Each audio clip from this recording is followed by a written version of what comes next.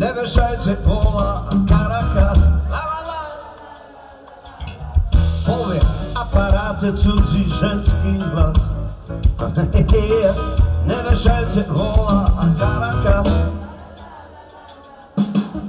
Všetko bude také jako prvý raz A közönséget elsőként Peter Lipa, a szlovák jazz atya szórakoztatta a vásárpótló rendezvényen. A csallóközi vásárt a koronavírus járványjal kapcsolatos intézkedések miatt már másodszor nem sikerült megtartani. A szervezők bíznak abban, hogy jövőre újra sor kerülhet a közkedvelt eseményre, amelyre már le is foglalták a sztárfellépőket. A helyszín a Városi Szabadidőpark lesz. Az új sportcsarnok építésének függvényében azonban a vásár területe és elrendezése változhat.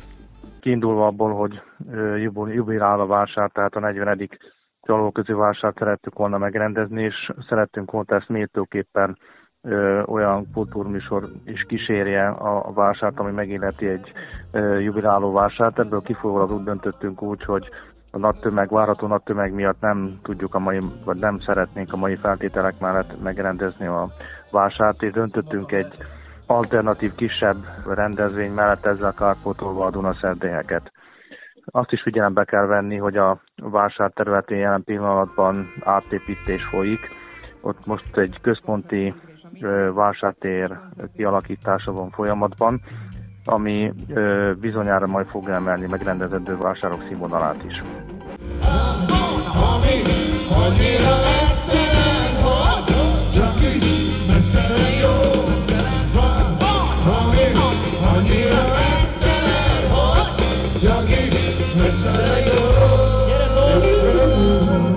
Az érdeklődők a Dunaszerdehelyi Fortissimo együttes jó hangulatú koncertjét is megtekinthették, majd következett a rendezvény fő attrakciója, a jövőre 40 éves Ergo koncertje.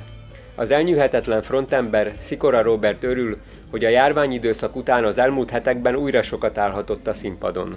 Az embernek a lelke kiéhezik, egyszerűen csak jelentkezik az az elvonási tünet, hogy most jó lenne már játszani. Jó lenne a közönségtől egy picit visszajelzést kapni, hogy jó az, amit, vagy hogy, hogy a szeretetét érezd a közönségnek. És az, és az mindig jó, az az, ami tovább lendít téged a mindennapokban, vagy a fáradtságodban, vagy abban, vagy látod, hogy az tetszik, amit csinálsz az embereknek, és ha a szeretet, szeretet így árad, akkor az nem csak a, a zenére vonatkozik, hanem a, hogy mindenre. Hát én azt gondolom, hogy a zene is egy hivatás, hogyha te, meg tudod az embernek a, a, a lelkét melegíteni, vagy elgondolkoztatásra inspirálod azt, hogy egy szöveggel vagy valamivel